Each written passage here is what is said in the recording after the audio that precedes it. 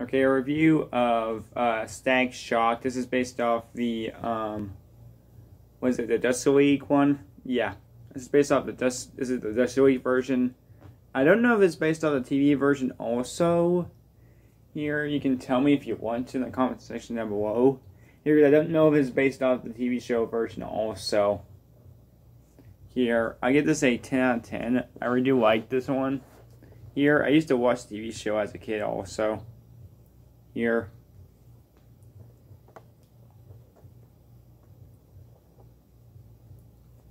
So yeah. Yeah, I used to watch TV shows as a kid and it's really good. And